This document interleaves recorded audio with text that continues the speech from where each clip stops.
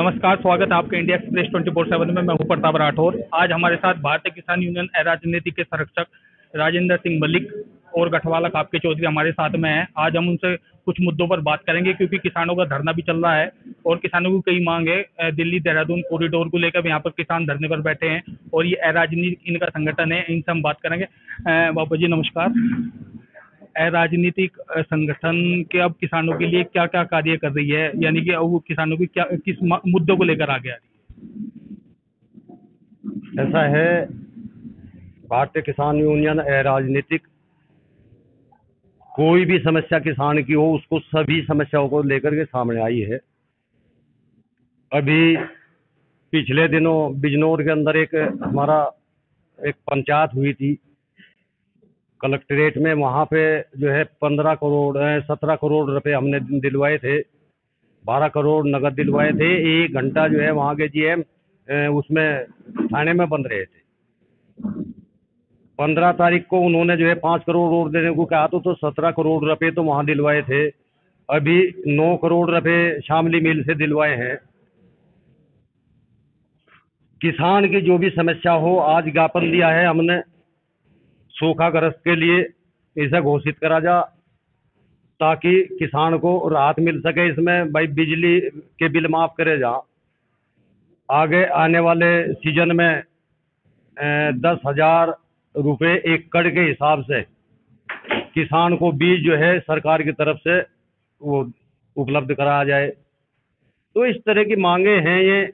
जो सरकारी कर्ज है, उसका जो है ब्याज माफ़ करा जा। तो इस तरह की ये मांगे हैं हम जो है हमारा संगठन बराबर किसान के लिए उठाता रहेगा।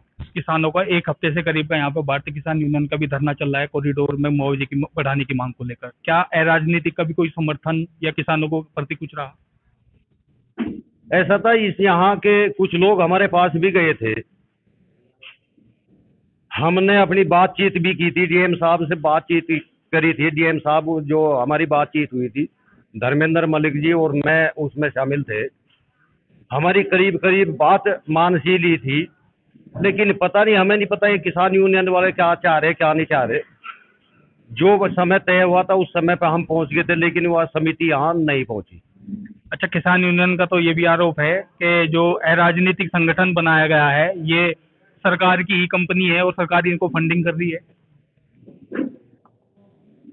सरकार या तो इस चीज़ को कोई साबित करे सरकार फंडिंग कर रही मुँह कहने से क्या हो जा? हम भी हम भी कहने लगे अब तक ये सरकारी नहीं रहे। अब तक सरकार से यही बात करते रहे यही तो सरकारी थे। अपनी बात को जो है मतलब दूसरे की तरफ़ ध्यान बटाने के लिए कह रहे हैं इस बात को।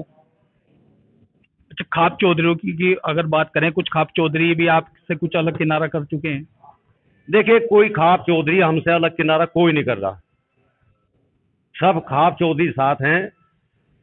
खाप चौधरी हो या मतलब एक जनता हो, जो जनता के लिए, जो किसान के लिए, मजदूर के लिए काम करेगा, मैं, लोग उनके साथ रहेंगे। अगर हम किसान का, मजदूर का काम करेंगे तो हमारे साथ जुड़ेंगे। राकेश टिकैत जी का भी यहाँ मन से बयान आया था कि जो राजनीतिक में जो लोग हमारे से टूट के चले गए, वे फिर आना चाह रहे हैं, मगर हम उन्हें नहीं जोड़ेंगे। नहीं राकेश टिकेत जी ने तो प्रयास किया है। भरपूर प्रयास करा। हम नो कहे ले जाओ इसमत है जिसे ले जाना वो ले जाओ। मना कौन कर रहा? तो किसान आपसे जुड़े हुए हैं? किसान हमसे जुड़े हुए हैं। हम काम करेंगे तो किसान अपने आप ही ऑटोमेटिक जुड़ेगा। अच्छा किसानों की बहुत समस्याएँ हैं। अब तक गन्ने का भुगतान नहीं हुआ। आपने मिल पे भी धरना दिया, मगर एक दिन धरना देने, जल्दबाजी यानी जो भी हुई, एक दिन में धरना समाप्त कर दिया। किसानों को भुगतान की समस्या भी बनी हुई है। ऐसा है, हमने एक दिन का धरना दिया, लेकिन वो ज्ञापन रूपी था। ये वो तो एक ज्ञापन सा दिया गया था और उन्हें चेता भी दिया। अगर जल्दी से जल्दी जो है किसान का पेमेंट नहीं करा जा तो भारतीय किसान यूनियन राजनीतिक इस पर कोई बड़ा निर्णय ले सकती है। खाप चौधरी बहुत हैं जो आपके खिलाफ भी बयानबाजी करते हैं। देखिए पब्लिक में सब तरीके के लोग होते हैं। सबके नेचर एक तो नहीं होते। अलग अलग नेचर का, हर आदमी अलग अलग नेचर का हो अलग अलग सोच हो। उनकी सोच, उनके साथ मैं किसी के बारे में कोई टिप्पणी नहीं करना चाहता। न मैं उनके बारे में कोई खराब शब्द बोलना चाहता। ठीक है, जो जहाँ लग रहा है वो अपना लगे रहो किसान के लिए काम करो, हम कब मना कर रहे हैं। खाप का एक तरीके से देखा जाता था कि खाप जो होती थी, वो केवल अपने समाज को जो जिसमें जो कुर्तियाँ हैं दूर करने के लिए थी, मगर अब क्या है, पॉलिटिक्स थोड़ी खाप पे भी अभी दिखाई दे रही है। देखिए, पहली तो बात, समाज हमारा जो है, ये भी राजनीति से जुड़ा हुआ आसानी जो वोट राजनीति में वोट देता है ना, वो भी जुड़ा हुआ है राजनीति से। और जो भी सरकार आएगी, किसी की सरकार हो उससे तो किसी न किसी को बात करनी पड़ेगी।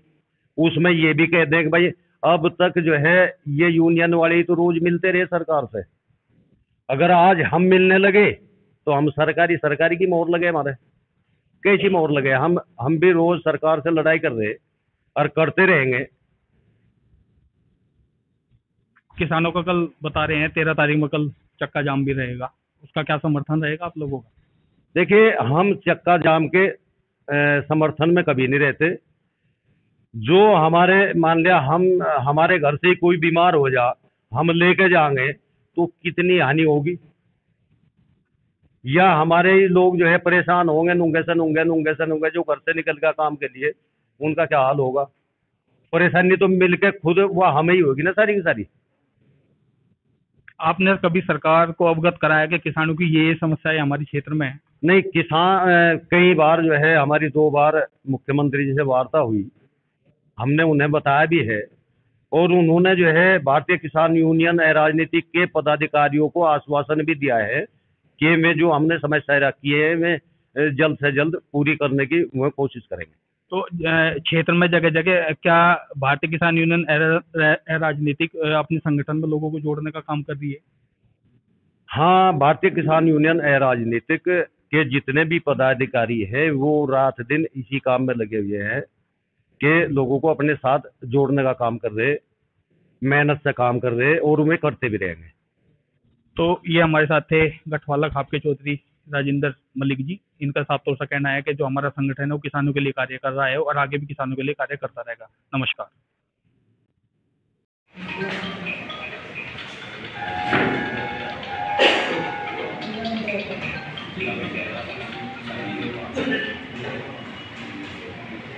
धन्यवाद जी। मैं आपके साथ सभी लोगों के साथ कंधे का कंधा मिलाकर हमेशा दुष्कर रहूँगा।